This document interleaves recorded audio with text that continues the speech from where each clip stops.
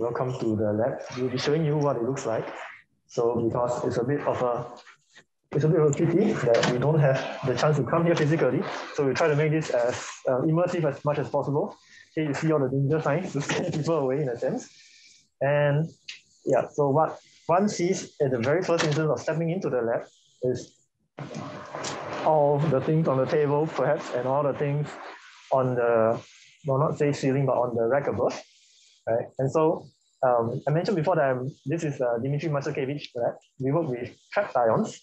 Uh, we have, our most recent work is on um, implementing quantum machine learning algorithms using our system of trapped ions, but with a twist, not in the same way that um, the so-called major players in the that use qubits do. We use the motion. So um, in addition to doing this sort of uh, machine learning applications, we have done very nice um, experiments in the past as well. It just happened to be that that's the direction we are taking now. So one of the interesting results that we had before was the so-called quantum absorption refrigerator. Uh, we had what we had was three ions in a line, right? And then from there we formed a fridge, right? So we made a fridge out of three ions. And then we asked the very interesting question of what happens to thermodynamics when you have three ions? Because um, for those who have already known, in thermodynamics, you say that n, the number of particles involved, should tend to a large number, infinity, in fact.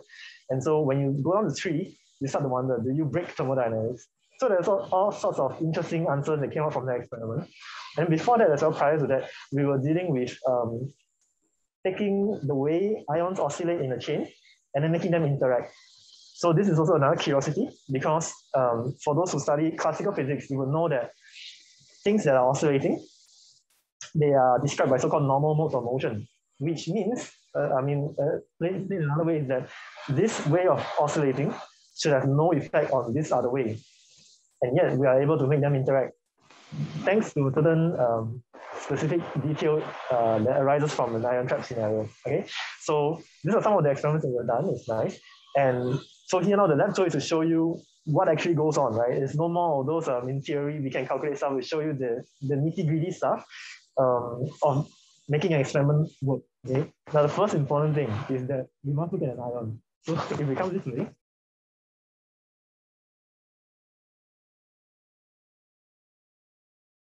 we have an ongoing experiment now. And if I take a close look at so give you a give you a moment, so probably the other grad. Yep. So if you look at the screen now, what you see here is an ion that is fluorescing.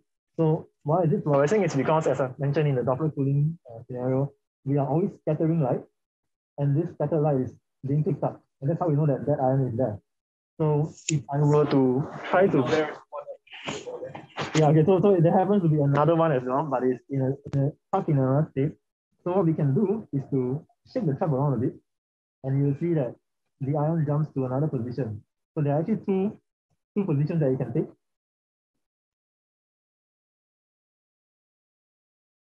Yeah, so in this case, um, we are, that's how we know that there are two ions here. So what, so what was happening was that we were switching off, so that the, ions were trapped, and we were switching it off and on a little bit to make it jump. Okay, so um, you can move here. Uh, are there any questions you want me to check? Yes, um, would you would you mind um, explaining what you're actually seeing when you see this ion? Like, how can you even see it? It's so small. Ah, okay. Maybe I have to bring us over to another spot now. Over here, um, there is this entire black looking setup here. What this is, is a microscope objective that is trained onto the position of the ion, where the ion is trapped. And then because we are shining the, the light onto the ion, we are doing Doppler cooling, it's always constantly fluorescing. That light that is coming out is being picked up and transferred to a huge camera over here. It's an expensive, good camera. And that's how we are able to see the ion, even though it's so tiny. And uh, um, yes, thanks for bringing that up. So the amazing thing is that it's a single, or in this case, two ions, which um, if you consider the number of particles in air, order of 10 to the 20, right? So just two. It's a amazing feat, I think. Yeah, so are there any further questions? Nope, I don't think there's any more questions coming in the chat. Okay, so if we move on here, um, I just want to say that maybe the impression by now you would have had is that a lot of things don't look commercial, and that is correct. So the funny thing is that um, when I first started working in a lab, I realized that you can't just buy things that you want. Most of the time, um, people don't sell it. Like there's nobody to make the things that you want because you have a certain specification that you need. You need it to do this and that. So a lot of times it's um, economically and, uh, and also by choice, you prefer to make things yourself.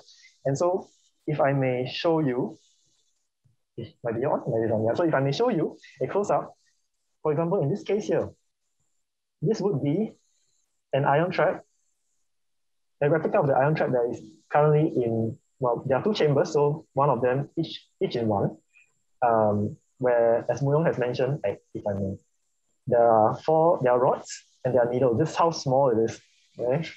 So um, in addition to having these rod traps, we are as well at the moment uh, investigating and experimenting on uh, newer generations of traps, uh, the so-called blade trap, where we would have four, well, this is only like partially assembled, and this is a part of the prototypes, where we assemble four blades, and that would also be able to trap ions. So in this, for this particular case, we have to learn things like how do we deal with uh, making ceramic work the way we want it to work, how do we machine it properly. We, we don't do it ourselves exactly, but there are lots of things to learn along the way. Um, how do we deposit a gold and how do we, yeah, in general, how do we handle and make it happen? So um, this is just for scale. Okay, so are there any questions about these things? If not, then I will say we can move on. Do you have any questions about the traps? Sorry, but Jaren, you just mentioned you use ceramics in the new trap, but the one to the left looks like it's metal. What materials are you, are you using for the trap, uh, for the old one and for the new one?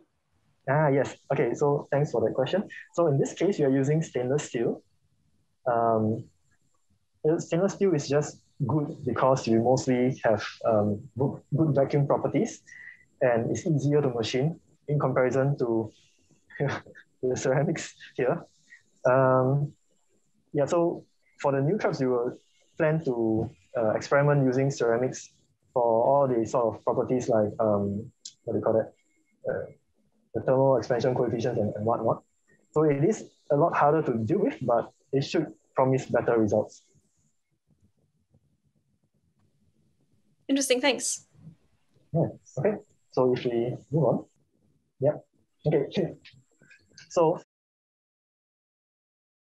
I have to put on my safety goggles now because um, the thing that I haven't been explicitly talking about uh, would be the massive things on the table, right? So this uh, the this makes up the optical systems that is used for the experiment. So every one of these thing that you see there, every optical element, every mirror, every lens, every AOM, every EOM serves a purpose. And so um, there are, uh, in this case, for this 369 laser, we can't see naked eye, so we have to use paper to see the fluorescence, right? And when it comes to dealing with laser, we have to be we have to like uphold the sort of discipline to not wear reflective materials because you don't want to accidentally cause somebody else to go blind. Uh, and so uh, here we have 369, and then we also have other portions for 780, uh, 935, 638. So an entire rainbow of colors. It's quite nice. Okay, and if I may bring you guys down to another part that has no laser, I must add, and to show you like part of the, I mentioned that we were dealing with uh, machine learning stuff. And so to make a quantum computer, there is this little guy here that would be sort of the heart of the computer. It would be responsible for being able to uh, individually address, align a chain of ions. So this is like the so-called multi-channel uh, optical modulator. And then in general, you can see that um, there are many things that are partially commercial, partially home built. Like for example, something like this, which oh, the detail is not very obvious, but this functions, this is a, a custom built periscope where we want to send the light uh, to a different height. And so this was also homemade. So that's about it for the view of the lab. Now, if there are any questions, um, yeah, we do have one questions about the trap. Um, so the trap, is, the question is, how do you design those traps? Uh, can I can I ask uh, for more details? So, so what, what do you mean by how do you design the trap? In what sense? I think it's, I think it's because um, you mentioned that uh, they were made in-house. Mm. Mm-hmm.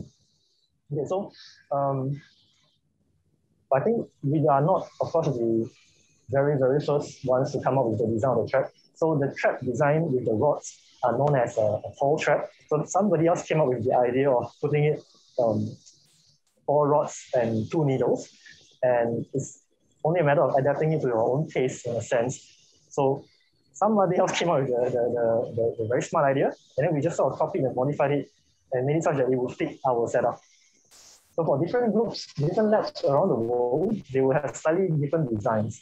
And it's um, as long as you understand what are the important parts, you can change more or less the rest to see how it may help or may not help in some sense. Uh, we have, oh, okay, uh, a follow-up questions about the track. Um, is it 3D printed or something? Ah, ah so it's uh, not 3D printed. It's a traditionally like milled in the traditional way with a big CNC machines now that we have. Some parts we outsource. So but essentially it will still be a traditional milling technique. Um, we do have some, we, we do play with 3D printed materials. Uh, we had some experience. So for example, if I may show you, um, one of the elements, the import crucial elements of the that make up the track um, I can't show that. Um, suffice to say that at some point we needed to wind some wires in some manner. And so, uh, in fact, we had a high school intern student who was with us for some time, and he had experience working with a 3D printer. And he, his task was to wind some wires um, that are supposed to have certain specific dimensions, certain radius, certain length. And then so instead of doing it by hand or by machining another mold piece, he said, why not just 3D print it? It seems to be reasonably faster. And that was it's a, that's when you know it's a great idea, right? Like, there's no need to invest so much time, like a few weeks to machine this whole thing in metal, when you can just 3D print it. Thanks. Okay, thanks. Uh, there's one more. Okay. There's one more question about the optical setup that you showed, which for which you needed to wear the safety glasses. So the question is, what yes. is the setup used for? Ah, okay, so um, I mentioned several wavelengths. I just threw several wavelengths out, right? So Muyong was already uh, already alluded to the 369 nanometer transition that is used for Doppler cooling, state detection, optical pumping. Essentially, each wavelength talks to a, a pair of energy levels. So for 369, that's our most uh, basically the, the, the lifeline of, the experiment. Without the 369, nothing had happened. And then apart from the 369, there are other levels that require addressing as well. So for instance, what happens is that sometimes when we try to Doppler cool it, we keep cycling the transition, it may fall off some, to some other state. And then in order to get it back from those other states, we have to um, use a different wavelength of light. So that's where we use like the 638 red laser to repump or the 935 IR laser to repump. Um, there are also the, uh, there's also another pulse laser that is hidden tucked the inside there. That one is responsible for the, like the Thai pulses, uh, so-called Raman transitions uh, that we use as well. Any other questions? Ah, okay, there's one more questions. Um, right, uh, let's go with the optical setup. A follow-up question for the optical setup first. Is the sample placed in the optical setup or is the laser directed to the sample which is elsewhere?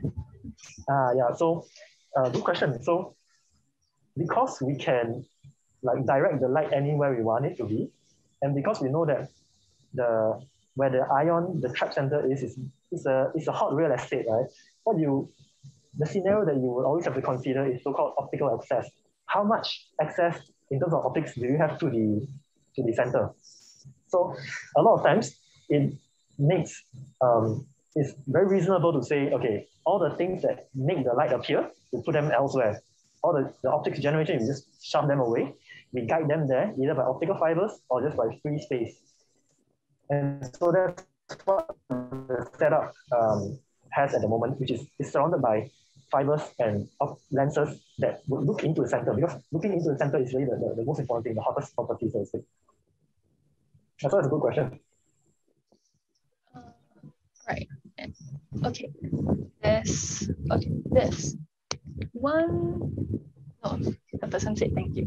Uh, there's one more question about if do you guys do optical tweezer experiments in the lab? Optical tweezers experiment. Um, we don't quite need to do optical tweezers uh, because we have a, a ginormously strong trap, which is the ion trap. So usually what people use optical tweezers for is like an, a, a, another form of a trap. So in neutral atom experiments, for example, where they do not have the luxury of big ion traps, this electromagnetic, this RF trap, sorry, then they would always use optical tweezers in. So from the mod that Muyong was explaining, what you can do is you um, cool, try to take these atoms and load them into an optical tweezer and then try to cool, evaporate them and cool them further. That's how you go to even lower temperatures. So for us, we don't have to use it, but for else, uh, other labs downstairs, they do use it.